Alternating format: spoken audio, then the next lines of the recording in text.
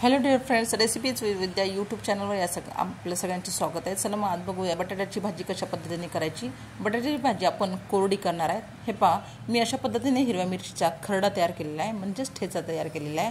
तुम्ही हा ठेचा मी कशा पद्धतीने बनवलेला आहे ते बघण्यासाठी डिस्क्रिप्शन बॉक्समध्ये खाली लिंक दिली आहे. ती तुम्ही बघून घ्या. हो, चला मग आता भाजी कशी तयार करायची त्यासाठी आपण कढईत आहे ना, दोन चमचे तेल टाकलेलं आहे. जिरे टाकलेले आहे. हिरव्या मिरच्या घेतलेल्या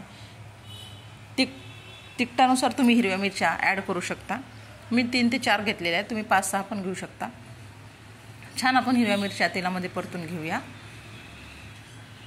आपण बॉईल केलेले बटाटे यामध्ये घेतलेले आहेत. तीन बटाटे आपण घेतलेले आहे आता आपण त्या तेलामध्ये हिरव्या मिरच्या छान परतल्या गेलेल्या आहे आता आपण हळद टाकलेली आहे. आता आपण जे बटाटे घेतले ते बॉईल केले. ते छान कुच करून घेतलेले आहे. त्यामध्ये आता आपण कढईत टाकलेले आहे. त्यामध्ये आपण टेस्टनुसार मीठ ॲड केलेले आहे. अशा पद्धतीने आपण संपूर्ण भाजी छान मिक्स घेऊया. बघा, अशी छान आपली मस्त कोरडी भाजी तयार झालेली आहे. तुम्ही कांदाही ॲड करू शकता. माझ्या मुलाला कांदा आवडत नाही, त्यामुळे मी यामध्ये टाकलेलं नाही. भाजी तुम्ही लहान मुलांना डब्यालासुद्धा देऊ शकता. चला मग, भाजी आवडल्यास चॅनलला सबस्क्राईब करा हो, लवकर चॅनलला सबस्क्राईब करा लाईक करा शेअर करा नवनवीन रेसिपी अशाच बघत राहा. चला मग, भेटूया परत नेक्स्ट रेसिपीसाठी थँक्यू धन्यवाद.